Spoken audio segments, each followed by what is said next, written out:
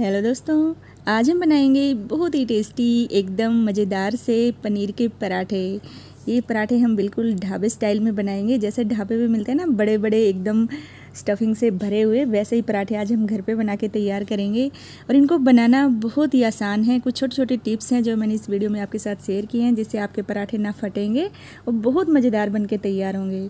तो इससे पहले दोस्तों, अगर आपने चैनल को सब्सक्राइब नहीं किया है तो प्लीज़ चैनल को सब्सक्राइब कर लें। रेसिपी अच्छी लगे तो लाइक कर दें। फैमिली और फ्रेंड्स के साथ शेयर करना बिल्कुल ना भूलें।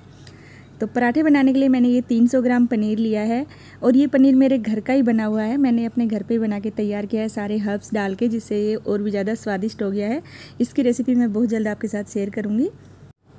पनीर को हम अभी साइड में रख देंगे और पहले आटा गूँथ के तैयार करेंगे, जिससे कि जब तक स्टफिंग हम बनाएँगे, तब तक आटा भी हमारा अच्छे से फूल के तैयार हो जाएगा। तो मैंने ये दो कटोरी गेहूँ का आटा लिया है। इसमें स्वाद के अनुसार नमक डालेंगे। पराठे को करारा और सॉफ्ट बनाने के लिए अब मैं इसमें डालूँगी एक से डेढ़ चम्मच ये दूध की मलाई। आप इसकी जगह चाहें तो एक चम्मच घी भी डाल सकते हैं या फिर एक दो चम्मच तेल भी डाला जा सकता है। अब इन सभी चीज़ों को मिक्स करके हम सॉफ्ट डो लगा के तैयार करेंगे। जब भी आपको स्टफ़ पराठा बनाएँ, आटा थोड़ा सा, जैसा आप चपाती का लगाते हैं ना, उससे थोड़ा सा सॉफ्ट ही लगाएँ। अगर आपने बहुत ज़्यादा हार्ड आटा लगा लिया ना, तब भी आपके पराठे फट जाएँगे। बहुत ज़्यादा आपको पतला भी नहीं करना है, लेकिन जो हम चपाती बनाते हैं, उससे हल्का सा आपको सॉफ्ट ही रखना है। तो दो कटोरी आटे के लिए मेरा डेढ़ गिलास पानी लग गया है। और आटे को अच्छे से गूँथना है, थोड़ा सा टाइम दे के जिससे कि एकदम चिकना हो जाए। इस पर अगर आप थोड़ी सी यहाँ पे मेहनत करेंगे ना तो आपके पराठे बहुत बढ़िया बनेंगे। और गूँथने के बाद इसको रेस्ट पे आपको ज़रूर रखना है। कम से कम पंद्रह बीस मिनट या आपके पास समय है तो आप आधे घंटे के लिए भी रख सकते हैं।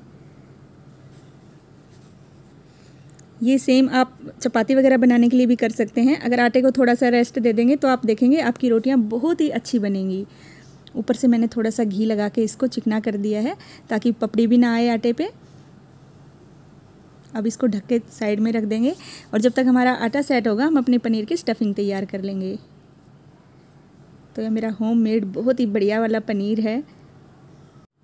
ये वाला पनीर मैंने जो मक्खन बनाने के बाद दूध बच जाता है ना, उससे बना के तैयार किया है। बहुत टेस्टी बनता है और वो दूध भी बहुत गाढ़ा गाढ़ा बचता है मक्खन बनाने के बाद, क्योंकि मैं हमेशा अपने मलाई को फ्रीजर में स्टोर करती हूँ ना तो उसके बाद जो भी दूध बचता है नीचे, उससे मैं पनीर बना लेती हूँ। आप चाहें तो इसको गर्म करके जमा भी सकते हैं। इसको अच्छे से पनीर को पूरे को देखिए, मैंने कद्दूकस कर लिया है। और पराठे बनाने के लिए आपको पनीर को थोड़ा सा सूखा सूखा ही रखना है। मतलब जैसे हम सब्ज़ी बनाने के लिए पनीर को थोड़ा सॉफ्ट रखते हैं ना, उससे थोड़ा सा आपको इसको ज़्यादा इसका पानी निकालना है। मतलब थोड़े दस पंद्रह मिनट ज़्यादा आपको इसको कपड़े में बाँध के रखना है। यहाँ पे मैंने एक टुकड़ा अदरक का भी देखिए कद्दूकस कर दिया है। अब इसमें कुछ सूखे मसाले ऐड करेंगे। तो सबसे पहले तो मैं इसमें डालूँगी दो प्याज जो मैंने बिल्कुल बारीक बारीक चॉपर में काट के ले ली हैं। आप आप हाथ से भी काट सकते हैं। तीन हरी मिर्च भी मैंने इसी में काट के रखी हैं। बिल्कुल आज हम ढाबे वाले पराठे बना रहे हैं ना, एकदम स्पाइसी सी और बहुत मज़ेदार बनाएँगे। प्याज डालने से पराठे का, पनीर के पराठे का टेस्ट भी बढ़ जाएगा। और बच्चों को बहुत पसंद आता है ये। तो सबसे पहले मैंने डाल दिया है ये आधी चम्मच हल्दी पाउडर, एक बड़ा चम्मच भर के मैंने लाल मिर्च पाउडर भी लिया है। थोड़ा सा मैं इसमें काश्मीरी, जो मिर्च का पाउडर आता है, वो भी डालूँगी, उससे कलर अच्छा आएगा। स्वाद के अनुसार इसमें नमक डालेंगे। मैंने एक बड़े चम्मच के जितना नमक डाला है, आप अपने टेस्ट के हिसाब से नमक डाल सकते हैं। और आप इसमें चाहें तो थोड़ा सा लहसुन और हरी मिर्च को कूट के भी डाल सकते हैं। ऊपर से डालेंगे एक बड़ी चम्मच कसूरी मेथी क्रश करके हाथ से।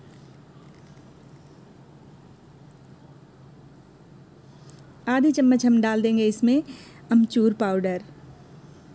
और एक चम्मच मैंने ले लिया है खड़ा धनिया, इसको हाथ से क्रश करके डालूँगी मैं। या आप दरदरा सा पीस भी सकते हैं। इससे बहुत अच्छा टेस्ट आता है। सारे मसालों को डालने के बाद अब हमें इनको पनीर के साथ अच्छे से मिक्स कर लेना है। और पनीर आप देखिए, इसी तरह का आपको भी रखना है। ये बहुत ज़्यादा गीला नहीं है, एकदम ड्राई भी नहीं करना है, लेकिन ये गीला भी नहीं है ज़्यादा। ज़्यादा अगर गीला पनीर होता है ना तो वहाँ पे भी हमारे पराठे फट सकते हैं। और अच्छे से मिक्स करने के बाद अब मैं इक्वल साइज़ की इसकी बोल बना के रख लूँगी। जितने आपको पराठे बनाने हैं ना, उतनी ही आप बोल बना लें। इससे बराबर बराबर सारे पराठों में आपकी स्टफिंग भी चली जाएगी और आपका काम भी ईजी हो जाएगा। एक बोल उठाइए और उसको अपने पराठे में भर के फटाफट से पराठे आप बना सकते हैं। चाहे तो आप इसको थोड़ी देर के लिए फ्रिज में भी रख सकते हैं, दस पंद्रह मिनट के लिए डायरेक्ट बना सकते हैं। तो सारी बोल मैंने बना ली।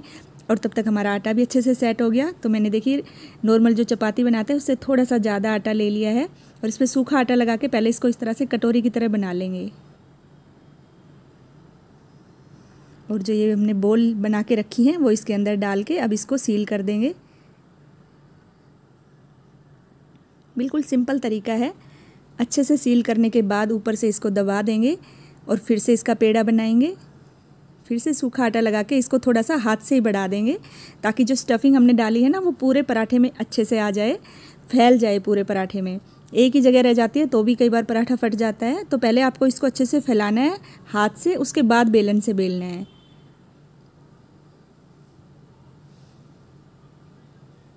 और बेलन का आपको बहुत हल्के हाथ से बेलना है मतलब बिल्कुल ऐसा नहीं कि एकदम से उस पर प्रेशर डाल दिया, उससे भी पराठा फट सकता है। बिल्कुल हल्के हल्के हाथ से जितना बड़ा आप चाहें इसको बढ़ा सकते हैं। अब ये बिल्कुल नहीं फटेगा। और स्टफिंग आप देखिए, कैसे पूरे पराठे में आप देख ही सकते हैं। इक्वली दिखाई दे रही है। इधर मैंने तवा गरम करने के लिए रख दिया था। एक पराठा तो मैं तवे पे डाल दूँगी, तब तक मैं आपको दूसरा एक और भी बना के दिखा देती हूँ। सेम वही तरीका रहेगा। पहले हम लोई बनाएँगे और उसके बाद इसको सूखे आटे से इस तरह से बढ़ाते हुए इसको एक कटोरी का आकार दे देंगे। और फिर जो हमने बोल बनाई है वो इसके अंदर डाल देंगे और इसको अच्छे से सील करेंगे। पहले इस तरह से, उसके बाद जो ऊपर एक्सेस आटा है, इसको भी पूरे को दबाते हुए फिर से लोई बना लेंगे। और फिर से इसको हाथ से बढ़ाएँगे ताकि स्टफिंग अच्छे से फैल जाए। थोड़ा सा हाथ से बढ़ाने के बाद ही आपको इसको बेलन से बेलना है। एक भी पराठा नहीं फटेगा, आपका गारंटी से बस आपको कुछ ही बातों का ध्यान में रखना है। पनीर को आपको नॉर्मली जो हम पनीर सब्ज़ी बनाते हैं, उससे थोड़ा सा ज़्यादा ड्राई करना है। और जब आपको पराठे बनाने हों, तब आप तुरंत की तुरंत ही स्टफिंग को तैयार करें या फिर अगर आपने पहले तैयार कर लिया है तो आप उसको फ्रिज में रख दें। बाहर ना छोड़ें, क्योंकि मसाले डालने के बाद मसाले भी थोड़ा सा अपना मॉइस्चर छोड़ देते हैं। एक तरफ़ से देखिए, पराठा सीख गया था। अब इसको हम अच्छे से घी या बटर लगा के सेक लेंगे। घी से बटर से पराठे बहुत अच्छे बनते हैं। आप चाहें तो रिफाइंड ऑयल में भी बना सकते हैं। और दोनों तरफ़ से अच्छा क्रिस्पी करारा होने तक पराठे को सेकना है। गैस का फ्लेम लो टू मीडियम पे रखिए ताकि ये अच्छे से सीख जाए और बहुत बढ़िया फूल जाएगा अभी पराठा, देखिए। देखिए, कितना अच्छा कलर आ गया है और पराठा बहुत अच्छे से फूल भी गया है। अगर पराठा फटेगा नहीं तो अपने आप ही फूल जाता है। वो फूलता नहीं है इसी रीजन से कि हमारे जो पराठे हैं वो कई बार फट जाते हैं तो फिर वो फूल नहीं पाते। तो दोनों तरफ़ से देखिए, मैंने दबा दबा के सेका है, कितना अच्छा कलर आ गया। इसको आप दही, अचार या फिर ऐसे ही खाएँगे ना, बहुत मज़ेदार लगेगा। और यही तरीके से हम अपने सारे पराठे सेकेंगे।